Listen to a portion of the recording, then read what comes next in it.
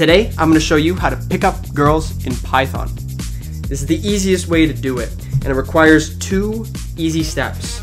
And I'll let you know that in a bit. But first, I need to say something, and it's obviously the case that I'm a womanizer. You can tell by the appearance, you can tell by the voice, you can tell by the channel. And so clearly, what I say is the best way of doing this. It's not meant to be taken funnily, it's not meant to be sarcasm, satire, sassiness. It's just, it is truth.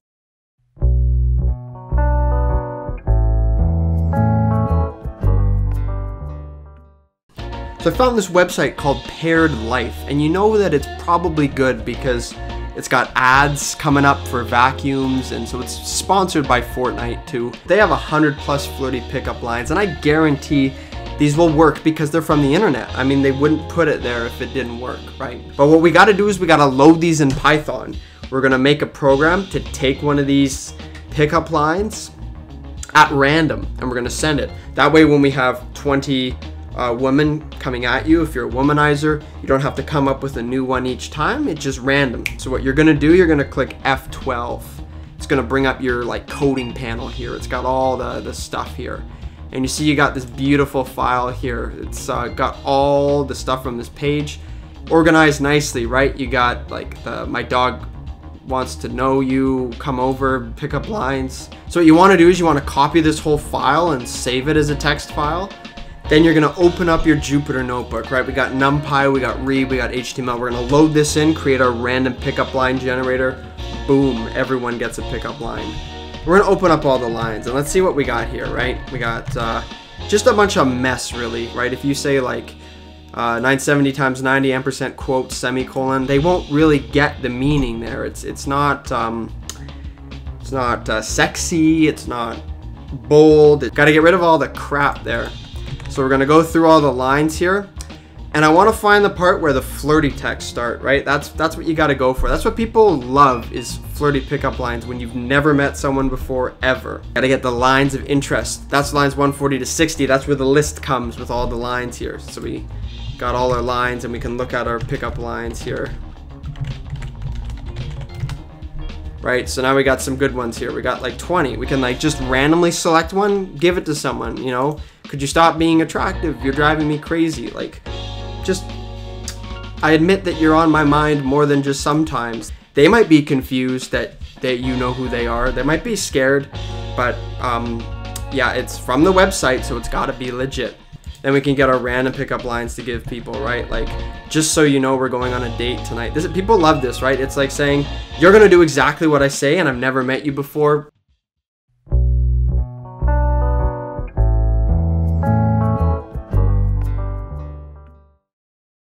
random pickup lines seem to be doing their job, as in they've messaged back. But I'm starting to have this um, belief that maybe they're not as interested as all the other people I've ever dealt with before.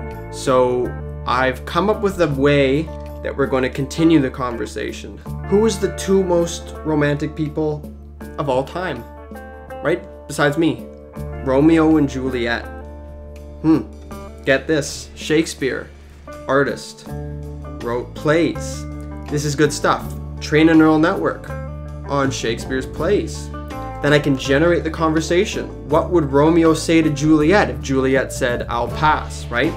It would play itself out.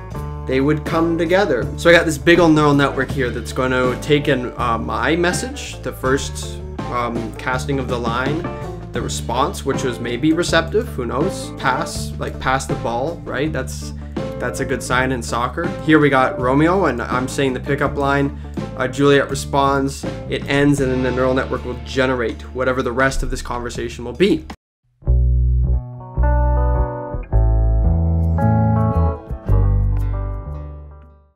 Me, Romeo saying, hello, this is me making the first move, your turn, just like me, Romeo.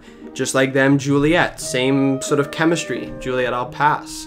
Romeo, excellent response, what is the fashion at hand? How will you pass? Juliet, it is the prettiest time of the year, when the flowers best do we do that o'erflows, right? The city's dean, Romeo, she cares about the flowers. She was passing because it's gonna be a nice day out. Romeo says that's a plot thickly foiled. Thickly, like thickens, like thistles, right? It's very poetic. Another possible scenario Romeo, this is me making the first move. Your turn, I'll pass. Romeo, you'll trouble, you'll be troubled. you'll be troubled if you pass. You better not. Come hither, Juliet. I'll help you smooth your face. I don't know what that means, Romeo. This is not me. This is the neural network. I don't know what it's learning from Shakespeare. I am so royally overeager. As soon as he says, I'll help you smooth your face, she is royally overeager that I would seek to blemish on my face. Mm. I would you did but see her straight, whatever that means. But by my holidam, sir, my face is not so pretty after an earnest medley.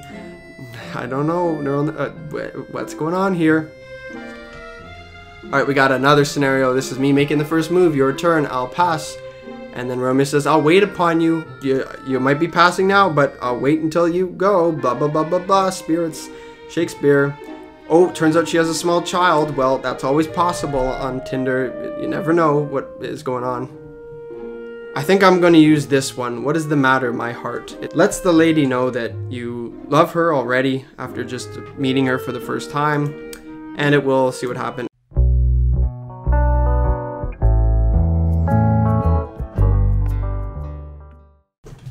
Okay, so clearly I think the AI lied here. This isn't what it was supposed to do. Um, based on my intelligence, the artificial intelligence, uh, there was supposed to be a, a story about um, a serpent laughing, a snake, a prince, but you know, I, I didn't quite get this response. And so this is very unusual for me. So in conclusion, you can pick up girls on Python. It's easy. You gotta use your pickup line generator and then you use an AI to determine the optimal way to carry through the conversation. This is the best way of doing it.